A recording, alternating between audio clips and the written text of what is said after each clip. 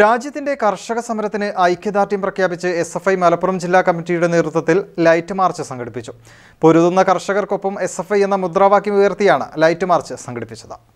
രാജ്യത്തിന്റെ കർഷക സമരത്തിന് ഐക്യദാർഢ്യം പ്രഖ്യാപിച്ചായിരുന്നു എസ് എഫ് ഐ മലപ്പുറം ജില്ലാ കമ്മിറ്റിയുടെ നേതൃത്വത്തിൽ ലൈറ്റ് മാർച്ച് സംഘടിപ്പിച്ചത്. മലപ്പുറം പെരിന്തൽമണ്ണ മഞ്ചേരി വണ്ടൂർ താനൂർ എന്നീ കേന്ദ്രങ്ങളിൽ നൂറോളം വിദ്യാർത്ഥികൾ മാർച്ചിൽ അണിനിരന്നു. മലപ്പുറത്ത് എസ് എഫ് ഐ സംസ്ഥാന കമ്മിറ്റി അംഗം വി വൈ ഹരികൃഷ്ണപാൽ ഉദ്ഘാടനം ചെയ്തു.